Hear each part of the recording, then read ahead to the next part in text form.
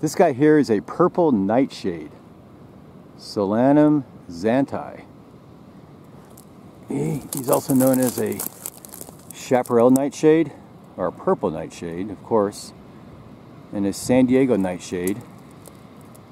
He's native to western United States, Arizona, California, Nevada, Oregon, down to Baja California. He's a perennial herb.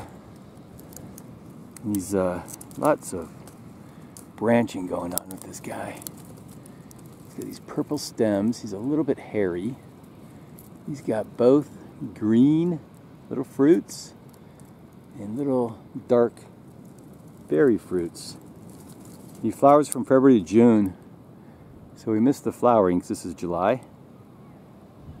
But um, the flowers, there's little uh, inflorescence of purple and blue flowers. It's our purple nightshade. Likes to grow up here.